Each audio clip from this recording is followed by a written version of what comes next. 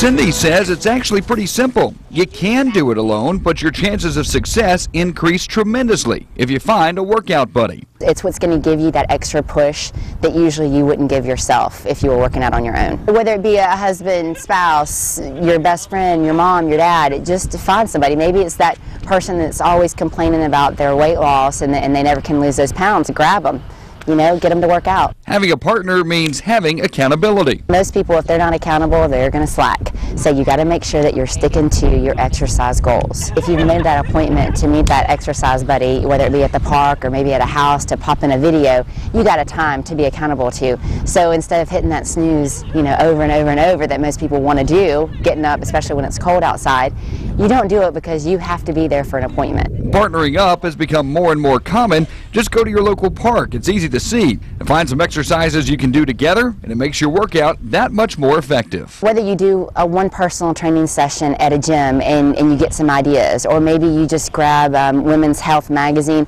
or you can go Google partner exercises. There's a plethora of information out there to find these exercises. Keep it simple. I mean, whether you're at a park or at your house, or if you go to a gym and work out with a buddy, keep it simple.